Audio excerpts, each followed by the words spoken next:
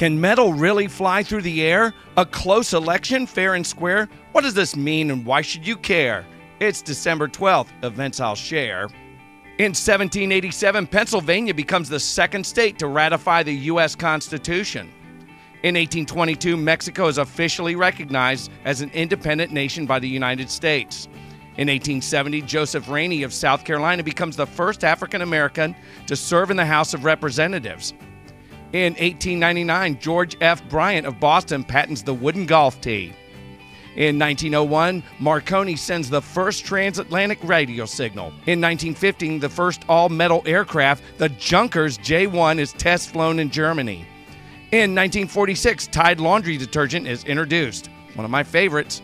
In 1957, Wilhelm J. Kolff and his team at the Ohio's Cleveland Clinic, say that three times fast, removed the heart from a dog and replaced it with a pneumatic pump, which kept the dog alive for 90 minutes, proving the viability of the artificial heart and that those guys are for hurting that dog.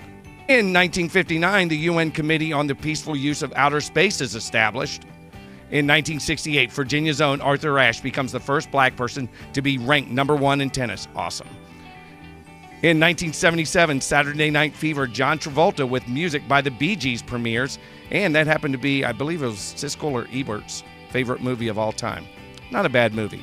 In 1980, Apple makes its initial public offering on the U.S. stock market. 38 years later, it would become the first company to be valued at over 1 trillion with a T dollars. In 1980, the U.S. copyright laws amended to include computer programs. In 2000, the U.S. Supreme Court releases its decision in the Bush versus Gore Florida presidential election recount dispute, finding in George W. Bush's favor and thus handing him the presidency. And in 2022, our city of Richmond, Virginia, capital of the Confederacy during the Civil War and current capital of the Commonwealth of Virginia, removes its last Confederate statue of A.P. Hill. No more Confederate statues. I guess everything's fixed now. What happened each date won't be a mystery if you subscribe to my channel for this date in history. Please share, like, subscribe, do all that stuff.